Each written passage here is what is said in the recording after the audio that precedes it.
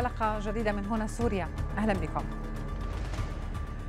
مستمرون حتى فك الحصار عن الأحياء الشرقية المحاصرة وطرد المرتزقة عنوان المرحلة الثانية من معركة حلب الكبرى التي تم الإعلان عنها اليوم خلال مؤتمر صحفي ضم قادة ومستشارين في غرفة عمليات فتح حلب. فما نتائج المرحلة الأولى؟ ولماذا تخبطت التصريحات الروسية بين تمديد الهدنة والتهديد بحرق حلب؟ هنا سوريا من قلب غرفة العمليات. رصد آخر التطورات هناك نتابعها في المحور الأول. وفي المحور الثاني كارثة إنسانية من طرف واحد بعد عام على هدنة مضايا الزبداني كفري الفوعة هل غدر حزب الله باتفاقه مع جيش الفتح؟ أهلا بكم.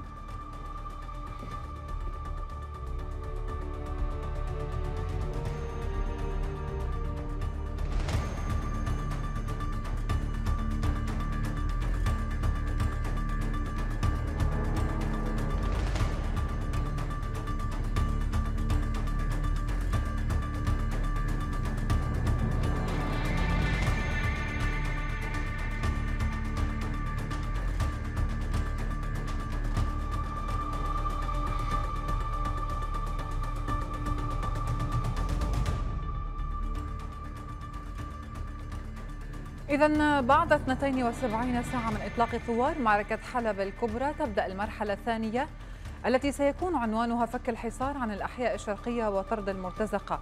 جاء ذلك خلال مؤتمر صحفي عقده قادة غرفة عمليات فتح حلب وجهوا خلاله انتقادات لعجز الأمم المتحدة عن حماية المدنيين بينما بعثوا بتطمينات للمدنيين في الأحياء الغربية معتبرين تحييدهم أولوية أخلاقية في هذه المعركة. نتابع التقرير ونعود للنقاش. مستمرون حتى فك الحصار عن الأحياء الشرقية وطرد المرتزقة. عنوان المرحلة الثانية من معركة حلب الكبرى. بحسب ما جاء على لسان قائد غرفة عمليات فتح حلب الرائد ياسر عبد الرحيم خلال مؤتمر صحفي ضم قادة ومستشارين في غرفة عمليات فتح حلب. أناس فقراء بسطاء من أبناء الشعب السوري. بقوا في مناطق النظام ولكن للأسف الشديد آه، المجتمع الدولي رأى النظام والميليشيات يحاصرهم ولم يتخذوا أي إجراء. طبعا من الطبيعي أن يخرج قسم بعدما رأوا كيف النظام يقوم بقصفهم. ولكن هناك العديد يرفضون هم يريدون البقاء في مدينة حلب. وكافة الخيارات مفتوحة ولكن هذه عملية تهجير. صور أطفال مجازر في حلب وحاس كانت حاضرة وبقوة في المؤتمر الذي أرسل خلاله القادة تساؤلات للأمم المتحدة والوسيط الدولي ديمستورا عن موقفهم من هذه المجازر وسط صمم أممي يقلق فيه أرباب الأمم على مواطني مناطق النظام فحسب. وأين هو تخوفكم عندما آه، دمر الروس بهمجية وبربرية لم يسبق لها التاريخ؟ آه، كل المشافي الميدانية التي تداوي وتعالج المدنيين في قلب مدينة حلب المحاصرة والتي يحاصر فيها أكثر من 300 ألف ودمر فيها سبعة مشافي والآن كل المشافي خارج الميدان. نحن نضع هذه الأسئلة برسم الأمم المتحدة. وأكد المستشار القانوني للجيش الحر أسامة أبو زيد أن غرفة عمليات فتح حلب تبنت خطة أمنية كفيلة بتحييد المدنيين عن تبعات الحرب قدر الإمكان.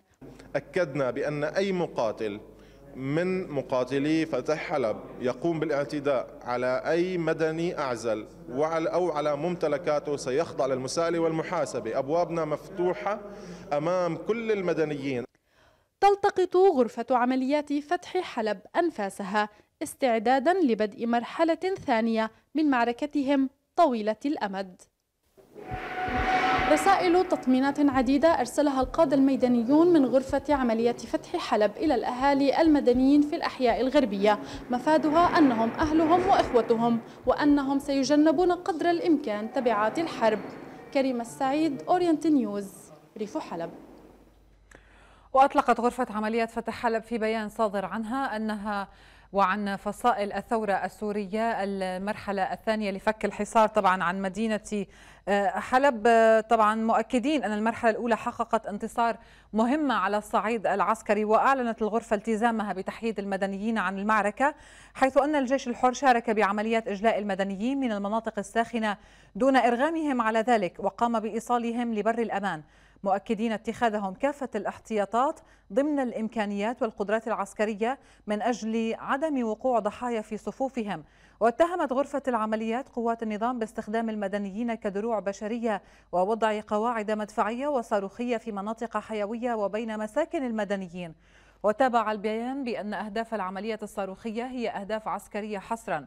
وختم البيان بالتأكيد على أن غرفة عمليات فتح حلب ستقوم بمحاسبة أي مقاتل يثبت عليه اعتداؤه على المدنيين الأبرياء أو ممتلكاتهم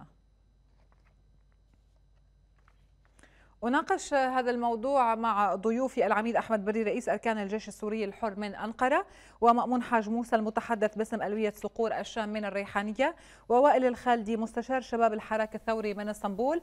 إضافة إلى النقيب أمين مليحيس قائد غرفة عمليات الراشدين من ريف حلب. أهلا بكم ضيوفي الكرام جميعا. أبدأ معك بداية السيد العميد أحمد بري من أنقرة. إذا آه، بيان ومؤتمر صحفي لغرفة عمليات فتح حلب العنوان الرئيسي لها كان آه، إرسال تطمينات للمدنيين في الأحياء الغربية والتأكيد على ضرورة محاسبة أي شخص يقوم بأي تجاوزات تجاه المدنيين. هل هذا المؤتمر جاء رد على كلام ديمستورا واتهاماته؟ السلام عليكم ورحمة الله وبركاته. وعليكم السلام. مساء الخير السادة المشاهدين مساء الخير الضيوف.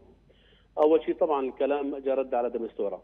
نحن آه، دمستورا للأسف معتبرينه من زمان مو من الآن من أكثر من سنة ونص إنه طرف مع النظام وليس آه، وسط خير بيننا وبين النظام. دمستورا من سنة ونص طلب اجتماع أنا معي شخصيا وكان اللواء آه، سليم إدريس أيام وزير الدفاع ورفضنا الجلوس معه بسبب وقوفه إلى جانب النظام بكل الأحوال أو بكافة مجالات. حتى لما عم بيصير أي حصار فورا هو بيرقد وبيلهس إنه يجيب الباصات الخضر وطالع الناس وما بيرقد مشان يدخل سلة اغاثه للناس المحاصرين. أول أمس في عقرب بريف حمص الغربي آه، سهل الحول المحاصر لعقرب بالذات كان رايحة 13 سياره اغاثه لم يستطيع حمايتها وقام القرى الموالية للنظام بإطلاق النار عليها وإعادتها ودمستوره ما حكى. الآن دمستورة يردد كما يقول النظام أنه في مدنيين أصيبوا، اولا المدنيين موجودين في مناطق النظام هذول إخواتنا وليسوا اعدائنا، نحن كل شيء موجود عند النظام.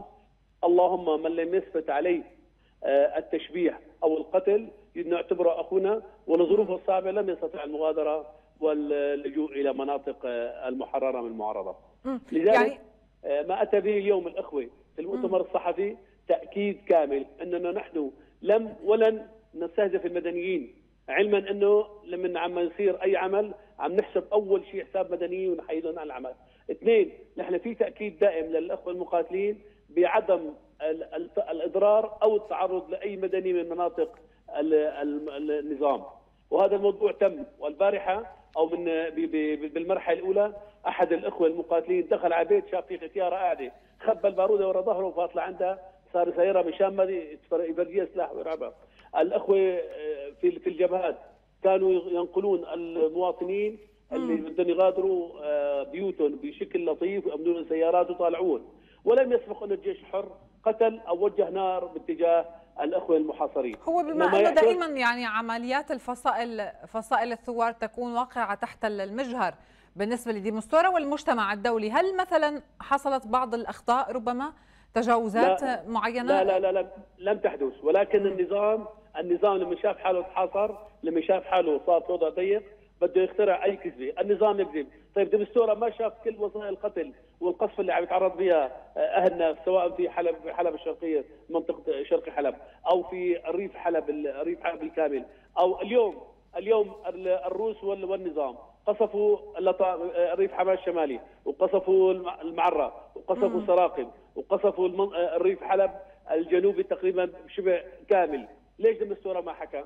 ليش دمستورا ما حكى؟ من أسبوع لما استخدم النظام مادة الكلور آه، باتجاه آه، غرب حلب. ليش ما حكى دمستورا لما استخدم الكيماوي قتل 1300 طفل فرد يوم؟ الآن دمستورا تفاكل من النظام. التمثيلية طلعت من ثلاث أربع أيام. وكان حتى هذا المراسل النظام في حلبة جديدة يرقد بين المواطنين ويقول سمعتوا إنه اجوا ارهابيين ما ارهابيين يقولوا لا ما في شيء عبارة عن تمثيلية. بعد بشوي بنسمع هن أكدوا إنه ما في شيء وما حد اصاب من من المنطقة. هلأ بنسمع إنه دمستورا عم بيقول والله في تعرضوا للإصابات. أختي الكريمة دمستورا نحن غير معترفين فيه ولا بنقبل يكون واسطة بينه وبين النظام نهائيا. طيب الإعلان الآن عن المرحلة الثانية من معركة حلب الكبرى. السيد مأمون حاج موسى المتحدث باسم ألوية صقور الشام. عنوانها العريض هو فك الحصار عن الأحياء الشرقية وطرد المرتزقة. آه يعني كيف ستبدأ هذه المرحلة؟ نعم السلام عليكم ورحمة الله وبركاته. آه شكرا لكم ولمتابعيكم ولضيوفكم الكرام.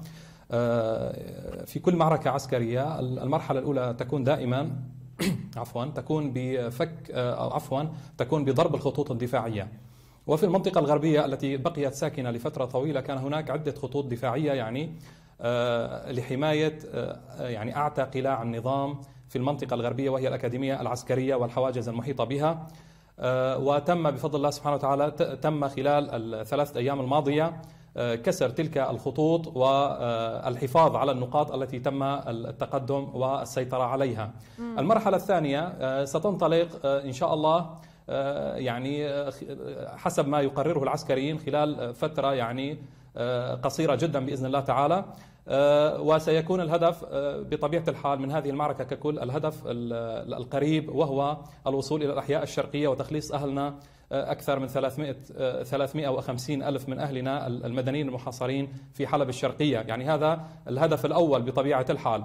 والهدف الآخر هو يعني لن نتوقف عند فك الحصار فقط لما يعني رأينا بالمرحلة الأولى من ضريبة باهظة فقط من أن نفك نفك الحصار ونتحول إلى رباط واستنزاف مع نظام طائفي مجرم تدعمه قوى عالمية كبرى ومجتمع دولي طيب حقيقة غير منصف وظالم ومبادرة ديمستورا نعم. عسكريا كيف سيكون التحرك؟ لأنه من الملاحظ الآن بأنه وهل هي أيضا استراتيجية؟ يعني هذه الملاحظة التي سأقولها بأنه عملية التقدم آه، هي بطيئة نوعا ما. يعني تختلف عن معركة حلب السابقة عندما دخل الثوار بمساحات واسعة خلال أيام قليلة. الآن نلاحظ بأنه بنفس المنطقة عم يتمركزوا والتقدم عم بيكون بطيء نوعا ما. نعم نحن غيرنا التكتيك حتى لا نصل إلى نفس النتائج. أه، لا نريد مكاسب سريعة نخسرها خلال فترة وجيزة. أه، تنقلب حقيقة على أهلنا المدنيين بالحسرة والندامة. نعم وسعنا خطوط الجبهات وسعنا المحاور وسعنا صحيح أننا يعني سنستنزف أكثر في هذا العمل ولكن حقيقة كما نحن سنستنزف أيضا سنستنزف النظام من خلال هذه الخطوط الواسعة جدا. آه، وفي الأيام يعني أو يعني دعنا دعينا نقول في الساعات القليلة القادمة إن شاء الله تعالى سيكون هناك مفاجآت. آه، بالنسبة لمحاور العمل آه، يعني لا يمكن يعني أصبحنا على على تخوم حي 3000 شقة سكنية وعلى أكاديمي مشارف أكاديمية الأسد وعلى مشارف حلب الجديدة وبالتالي هناك عدة خيارات عسكرية والمحللون العسكريون هم أدرى في هذا الأمر آه، وبطبيعة الحال ثوارنا الأبطال سيعني يخرقون جميع التوقعات إن شاء الله تعالى وسترون آه، غدا آه، يعني أكثر مما ستسمعون إن شاء الله. طيب سيد وائل خالدي يعني طبعا طرح روسيا بموضوع الهدنة. طبعا هي أعلن عن وجود هدنة ولكنها غير مطبقة فعليا على الأرض. ولكنها أعادت طرحها وقالت بأنه هي راح تكون نهار الجمعة من الساعة 9 للساعة سبعة المساء وبعدها يعني ستسمح خلال هالفترة بإخلاء الأحياء الشرقية من المدنيين وأيضا من المسلحين على حد تعبيرها. وإلا ما المتوقع الآن برأيك؟ مساء الخير لك سيدي الضيوف الكرام. طبعا آه، الروس مترددون بالأساس. الروس لم يحاربوا في حلب بذلك العنف لأجل حلب ولا لأجل النظام لأنهم يعون تماما أن هذا النظام لا يمكن أن يتقدم إلى الامام ابدا هو دائم التراجع وهو في مرحلة النهاية. وهم يعون هذه المرحلة مع كل هذا القصف الروسي مع كل هذا الدمار الروسي. النظام يتراجع النظام يتقهقر النظام يعود إلى الوراء. آه، بغض النظر عن عودتها أمتار أو آلاف الأمتار إنما هو يعود إلى الوراء ولا يتقدم أساسا.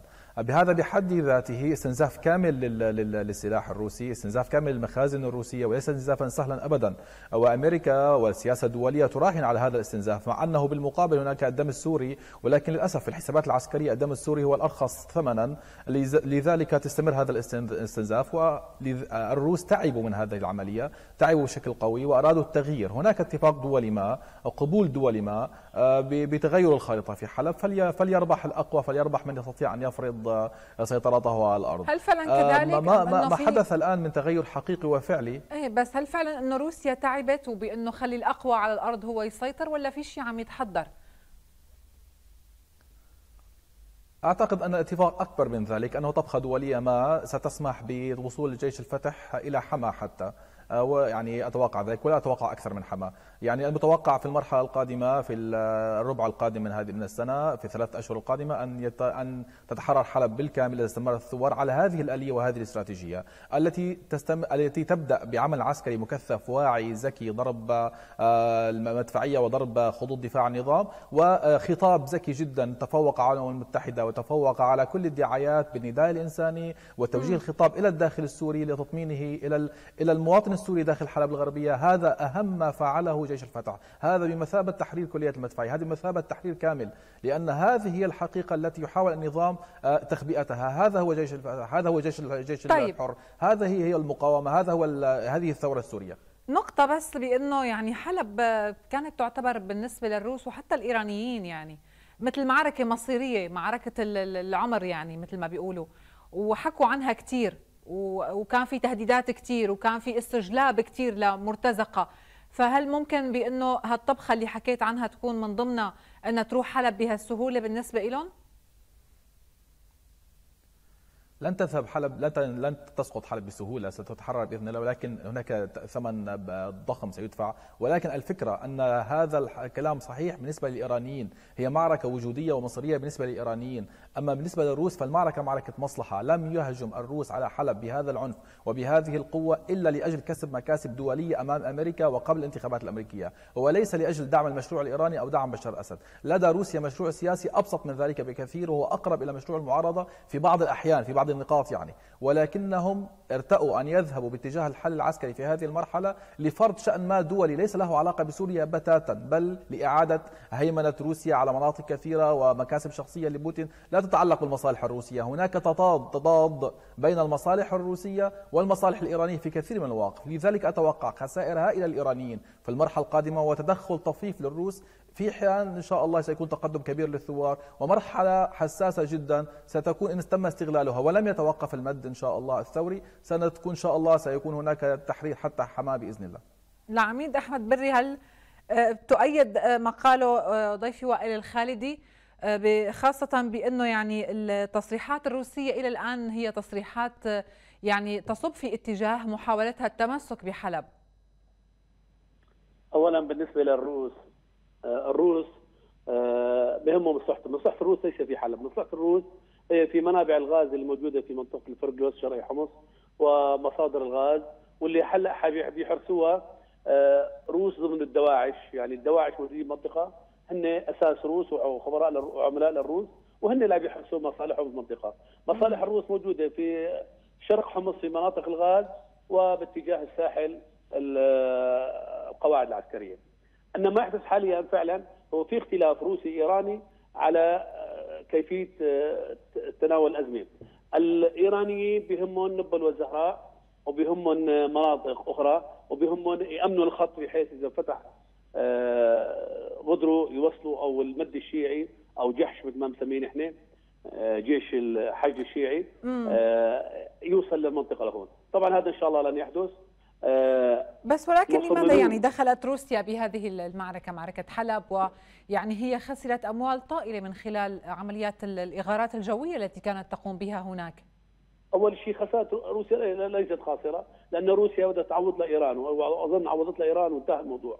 هاي واحد. اثنين روسيا حليفة للنظام من عام آه، تقريبا 1974 أو 76 قام المجرم الكبير حافظ أسد بعقد اتفاقية مع الروس مشان تأمن له الحماية آه، مستقبلا في أي عمل كان، طبعا لزمت له المعاهدة لزمت له الآن ونفذوها، طبعا هو الحماية لم تكن تجاه أي خطر خارج عن سوريا، إنما الحماية لحافظ أسد وزلمه من الداخل.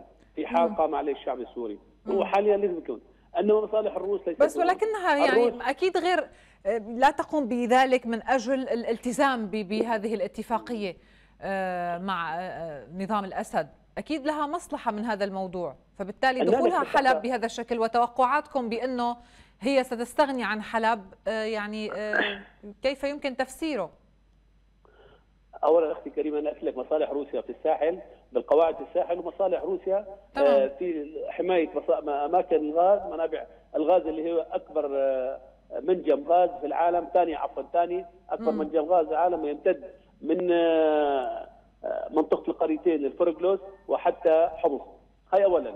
اثنين روسيا التزمت معاهده وروسيا بهمها كمان تفرض وجودها وخاصة بعد آه، انحياز الأمريكان باتجاه تفرض وجودها في المنطقة قدمت طيب. روسيا ما تستطيع ولكن مم. روسيا شافت إنه بالآخر خسرانة. هلأ حاليا كل كل الروس وغيره عارفين إنه حلب إن شاء الله ستحرر من قبل الثوار طيب. ولن تستفيد أي روسيا أو أي دولة أخرى في الوقوف في هذا الاتجاه. ولذلك روسيا يمكن خففت قليل من القصف لم تخفف. روسيا لم توقف قصف انها كنت عم تقصف آه، آه، عفوا.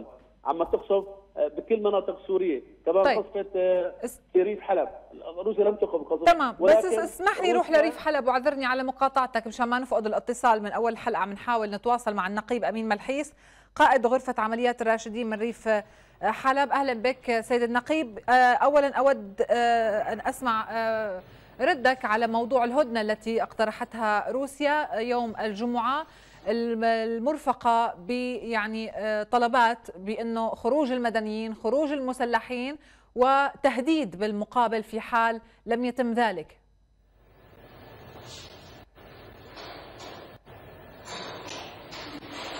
نحن خلال عدة لقاءات ماضية قلنا دائما وكنا ننوه أن روسيا ومن معها من القوات أو الميليشيات الطائفية التي تساند هذا النظام. طرحت عدة هدن فيما سبق وهي من أخل بهذه الهدن وآخرها كانت الهدنة الماضية حيث اقترحت هدنة أيضا وقامت بقصف قوافل مساعدات تابعة للهلال الأحمر السوري.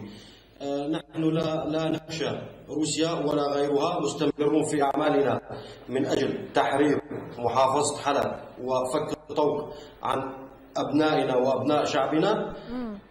قمنا بفكها سابقا لمدة 32 يوم ولكن روسيا هذه الدولة الأممية المعترفة بحقوق الإنسان فعلت كل ما هو مشين بحق الإنسان. أحصي في, الم... في خلال الشهر الماضي في يوم واحد وفي ساعة واحدة أكثر من 82 غارة من القنابل الفوسفورية على منطقة ال 1070 شقة. وهي الآن ما زالت مستمرة بقصفها. الآن ومنذ ربع ساعة تماما تم قامت بإلقاء غاز الكلور على منطقة خان العسل وعلى منطقة قبتان الجبل وسقط عدة شهداء مدنيين. فهي مستمرة بقصفها. لا طيب. نخشى أي تهديد. هذه الهدنة ما هي إلا لتكسب وقت هي والميليشيات الطائفية معها.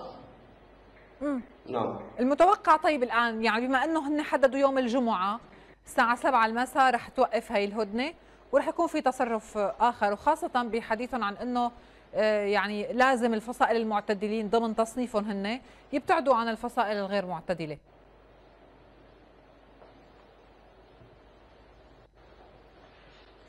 على كل حال روسيا صنفت كل فصائل المعارضة كفصائل إرهابية ونحن لسنا إرهابيين. نحن نعمل ونقاتل من أجل حرية هذا الشعب لا يهمنا لا روسيا ولا غيرها. آه، نوجه رسالة عبر شاشتكم الكريمة إلى المجتمع الدولي الذي آه، بقي محافظا على صمته لمدة خمس أعوام ودخلنا في العام السادس نحن سنقاتل حتى الرمق الأخير من أجل حرية شعبنا. طيب آه، شكرا لك النقيب أمين ملحيس قائد غرفة عمليات الراشدين من ريف حلب على هذه المشاركة ونعتذر آه، لم نستطع التواصل معه بالصورة فقط كان التواصل بالصوت. سيد مأمون حاج موسى الآن يعني رد الفصائل كان واضح بأنه ما بيأمنوا لروسيا بأي نوع هدنه وهن مستمرين.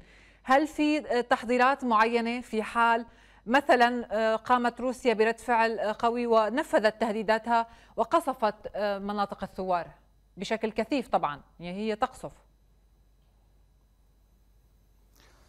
كما تفضلت بداية آه، روسيا المجرمة لم توقف يعني قصفها يوما آه، خلال الأيام الأربعة الخمسة الماضية. وما وما سبقها أيضا ولكن أخص بالذكر الأربع أيام والتي قال فيها الروس بأنهم يعني أوقفوا غاراتهم الجوية ودعمهم لنظام بشار الطائفي. لم تتوقف الغارات إطلاقا. وإن حيدت يعني أول يوم بفعل يعني الوضع الطقس يعني. آه، بالنسبة بالنسبة لنا ولثوارنا الأبطال يعني آه، آه، لم يخرجوا وخاصة في هذا العمل العسكري الآن يعني لم يزجوا بكامل قواتهم في هذا العمل وهم ينتظرون رد فعل روسيا أو غير غير رد فعل روسيا يعني أو غيرها. فهم ماضون ويعني قاموا بما عليهم بأن يقوموا بواجبهم يعني من حشد قواتهم وجمع بنادقهم باتجاه هذا العدو المجرم. وهم ماضون في هذه المعركة حتى تحقيق هدفها آه، الأول إن شاء طيب الله بكسر هل هل في استراتيجية معينة لتفادي الغارات الجوية؟ آه، كان معي العميد صفوت الزيات قبل يومين وتحدث بأنه أهم شيء الآن هو المسافة زيرو مثل ما سماها صفر بين الثوار وقوات النظام وميليشياته لكي يتفادوا موضوع الغارات الجوية، هل في أي خطة من هذا النوع أو شيء لتفادي هذا الخطر؟ نعم صحيح ما تفضل به العميد. يعني آه، نعم نحن اخترنا أصلا هذه المنطقة الواسعة العشرات الكيلومترات آه، ممتدة طبعا فيها الكثير من الأبنية لا أقصد الأبنية السكنية ولكن فيها أبنية عمرانية. آه، طبعا ممكن أن تحد من الطيران الروسي بشكل جيد إضافة يعني اقتحامنا من عدة محاور وأصبحنا على تماس مباشر مع قوات النظام الطائفي وأصبحت مسافة يعني القتال الصفرية كما تفضل سابقا. وبالتالي تم تحييد سلاح الطيران تماما. لا أقصد تحييده يعني عدم توقفه عن القصف وإنما أصبح القصف غير مجدي وحتى سجلت له عدة غارات يعني بالخطأ على قواته المتواجدة في في كلية الهندسة العسكرية وفي منطقة أخرى. صحيح.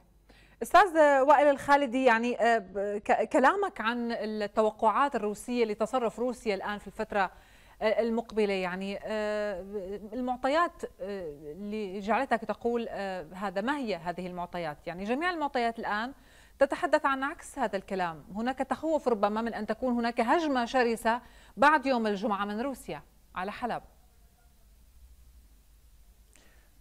لا يعني سيدتي أن محاولة روسيا البحث عن مصالحها في حلب أنها تتوقف عن القصف أبدا بل على العكس تماما. منذ البداية روسيا شددت القصف وقصفت بعنف في بهدف خلق موجة لجوء باتجاه تركيا ومن وتفريغ حلب وانتصار في حلب تفرض فيها حلا سياسيا.